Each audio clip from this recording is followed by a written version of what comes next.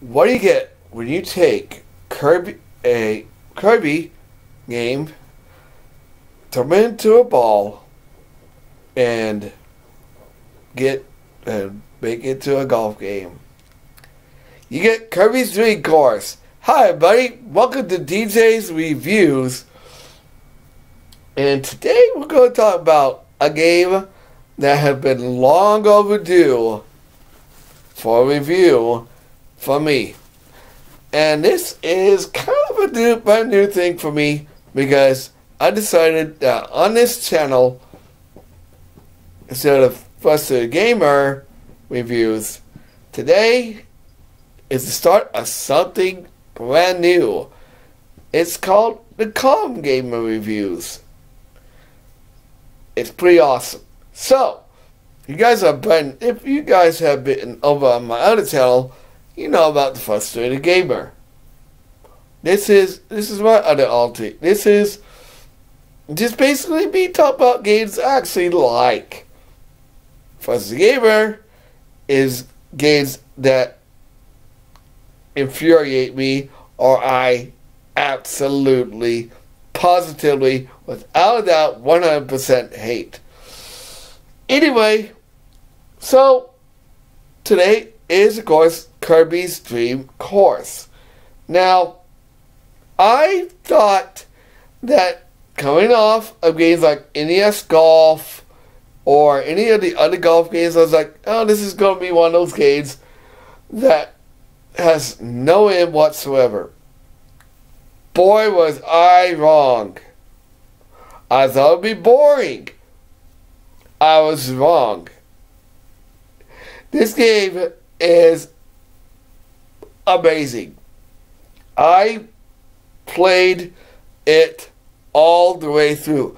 Now, if you see my tier list of Kirby games, Kirby's Dream Course was it was an A. Uh, it's staying there.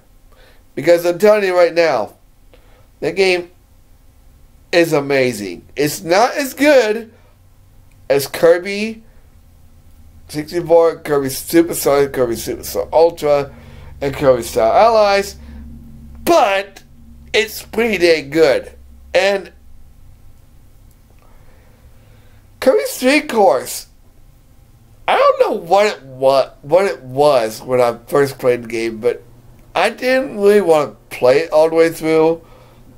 But since it's on Nintendo Switch Online, Super Nintendo, I was like, you know what?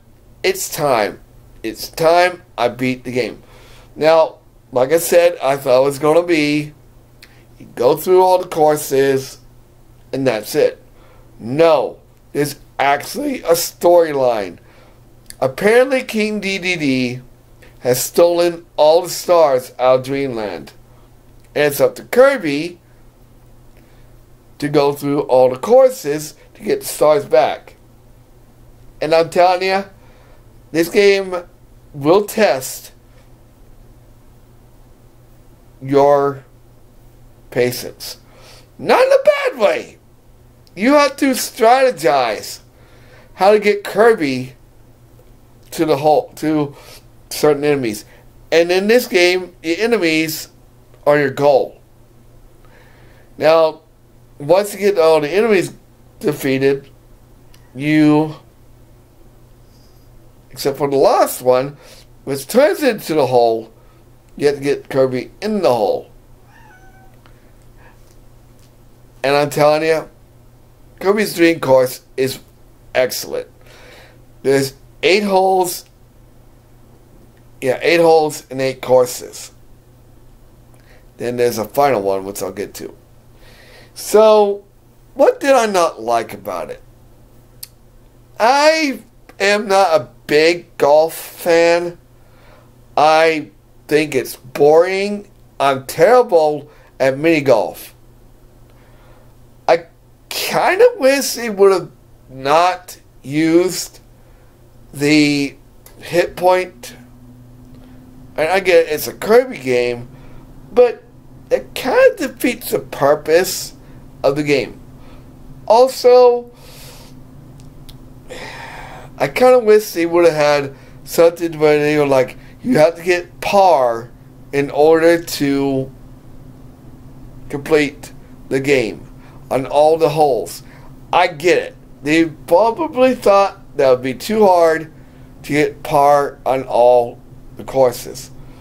But think about it. Games like Mario Party, games like um like the recent game, Mario Golf the recent Mario Golf games, I don't remember the name of the game, but in order to continue on, you have to have par on all the courses. Which is fine. Now, I'm not saying that ruins Kirby's Dream Course. I'm just saying that Kirby's Dream Course probably could have been a little more interesting if they were like, oh, you gotta get to the to get to the hole by so many uh, putts. Again, that would have been nice, but it's not a bad game. I actually enjoyed Kirby's Dream Course. I would say if you guys have not played it, go get just go on NSO, and if you have not downloaded the SNES app, download it, play Kirby's Dream Course. It's a good game. It's really fun. It does have some problems, but I gotta say again, the game is good. It's definitely one of my top favorite spin-off games. I'll see you guys next, and I'm going to give Kirby's Dream Course a 9.5 out of 10 just because it's a great game. It's not perfect, but it's a great game. See you guys next time. Like, comment, subscribe, share. I'll see you guys on the next video.